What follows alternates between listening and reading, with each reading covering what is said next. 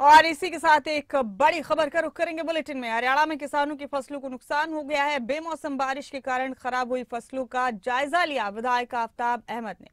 और साथ ही उन्होंने प्रदेश सरकार पर निशाना साधा। उन्होंने कहा कि बीजेपी और जेजेपी की सरकार किसानों की अनदेखी कर रही है। प्रदेश सरकार उचित मुआवजा देने में नाकाम साबित हुई।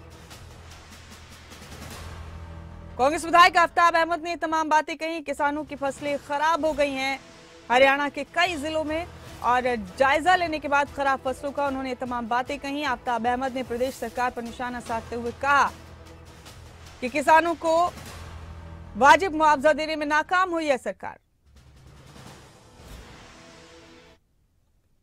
इंद्री गाँव में हमने खेतों का मुआयना किया और पिछले कुछ समय से मौसम की मार झेल रहे पूरे हरियाणा प्रदेश के किसान और खास तौर पे हमारे चाहे इंद्री हो, नुहू हो पुन्हाना हो, अपनी तैयार फ़सल पे, पहले सरसों की थी, अब गेहूँ की फ़सल पे बहुत बड़ा नुकसान हुआ है।